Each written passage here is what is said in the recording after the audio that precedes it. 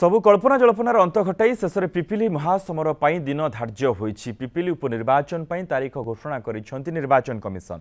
April সতেরের Pipili বিধানসভা উপনির্বাচন হব March তেইশে প্রকাশ পাইব বিজ্ঞপ্তি নামাঙ্কন দাখলর শেষ তারিখ মার্চ তিরিশ নামাঙ্কন প্রত্যাহারের শেষ তারিখ রয়েছে এপ্রিল তিন মে দুই তারিখে ভোট গণতি রেজল্ট প্রকাশ পাইব বিভিন্ন রাজ্যের চৌদটি বিধানসভা উপনির্বাচন তারিখ ঘোষণা করেছেন নির্বাচন কমিশন অপেক্ষার অন্ত ঘটিলা পিপিলি উপনির্বাচনে নির্বাচন কমিশন তারিখ ঘোষণা করেছেন এপ্রিল সতর তারিখের হব উপনির্বাচন এবং মার্চ তিরিশ তারিখ হচ্ছে নামাঙ্কন পত্র দাখলর শেষ তারিখ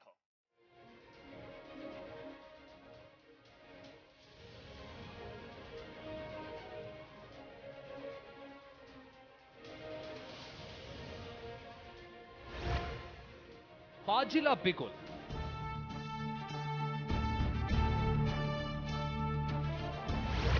ଘୋଷଣା ହେଲା ତାରିଖ ପିପିଲି ମହାସମର ପାଇଁ ଦିନ ଧାର୍ଯ୍ୟ ହେଲା ଏପ୍ରିଲ ସତରରେ ହେବ ପିପିଲି ଉପନିର୍ବାଚନ ନିର୍ବାଚନ କମିଶନ ପିପିଲି ଉପନିର୍ବାଚନ ପାଇଁ ପୁରା ସିଡ୍ୟୁଲ ଘୋଷଣା କରିଛନ୍ତି ମାର୍ଚ୍ଚ ତେଇଶରେ ବିଜ୍ଞପ୍ତି ପ୍ରକାଶ ପାଇବ ମାର୍ଚ୍ଚ ତିରିଶରେ ନାମାଙ୍କନ ଦାଖଲର ଶେଷ ତାରିଖ ନାମାଙ୍କନ ପ୍ରତ୍ୟାହାରର ଶେଷ ତାରିଖ ଏପ୍ରିଲ ତିନି ମେ ଦୁଇ ତାରିଖରେ ପାଞ୍ଚ ରାଜ୍ୟର ବିଧାନସଭା ଭୋଟ ଗଣତି ସହିତ ବାହାରିବ ପିପିଲି ନିର୍ବାଚନ ଫଳାଫଳ ଚାରି ଅକ୍ଟୋବର ଦୁଇ ହଜାର କୋଡ଼ିଏରେ ପୂର୍ବତନ ମନ୍ତ୍ରୀ ତଥା ବିଧାୟକ ପ୍ରଦୀପ ମହାରଥୀଙ୍କ ଦେହାନ୍ତ ପରେ ଖାଲି ପଡ଼ିଥିଲା ଏହି ନିର୍ବାଚନ ମଣ୍ଡଳୀର ଆସନ ପିପିଲି ଉପନିର୍ବାଚନ ପାଇଁ ସମସ୍ତ ପ୍ରକାର ପ୍ରସ୍ତୁତି ଚୂଡ଼ାନ୍ତ ପର୍ଯ୍ୟାୟରେ ପହଞ୍ଚିଥିବା ପୂର୍ବରୁ ସୂଚନା ଦେଇଥିଲେ ରାଜ୍ୟ ନିର୍ବାଚନ ଅଧିକାରୀ ସୁଶୀଲ କୁମାର ଲୋହାନେ ଏବେ ତାରିଖ ଘୋଷଣା ପରେ ପିପିଲି ମହାସମର ପାଇଁ ସବୁ ଦଳ ପ୍ରସ୍ତୁତିକୁ ଜୋରଦାର କରିଛନ୍ତି ଏବେ ପ୍ରାର୍ଥୀ ଘୋଷଣାକୁ ଅପେକ୍ଷା ଏହି ଆସନରୁ ପ୍ରଦୀପ ମହାରଥୀ ଉଣେଇଶହ ପଞ୍ଚାଅଶୀ ମସିହାରୁ ଏପର୍ଯ୍ୟନ୍ତ ସାତ ଥର ଜିତିଥିଲେ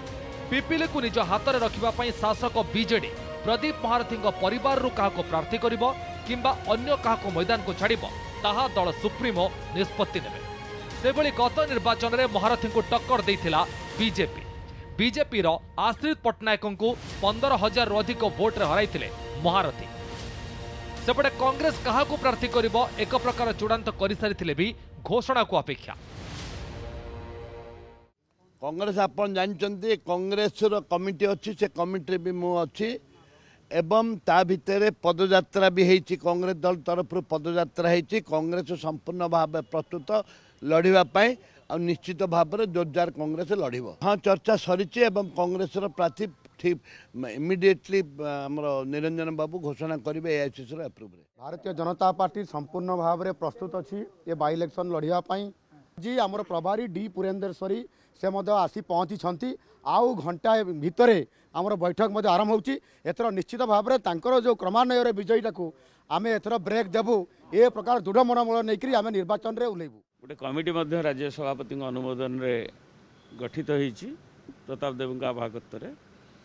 ଏବଂ ସେମାନେ ବିଚାର ଆଲୋଚନା ନିର୍ଯାସ କରୁଛନ୍ତି ଏବଂ ସାଙ୍ଗଠନିକ ପ୍ରକ୍ରିୟା ପିପିଲି ହେଉଛି ଅବୈଧ ଦୁର୍ଗ ବିଜୁ ଜନତା ଦଳର ଏବଂ ସେଥିପାଇଁ କାର୍ଯ୍ୟପନ୍ଥା ଷ୍ଟ୍ରାଟେଜି ତାର ନିର୍ଦ୍ଧାରଣ କରୁଛୁ ଉପନିର୍ବାଚନ ତାରିଖ ଘୋଷଣା ପରେ ପିପିଲି ବିଧାନସଭାରେ ଏବେ ଟକ୍କର ଜୋରଦାର ହେବ ବୋଲି ଆଶା କରାଯାଉଛି भुवनेश्वर लक्ष्मीधर महापात्र सहित ब्यूरो रिपोर्ट न्यूज सेवेन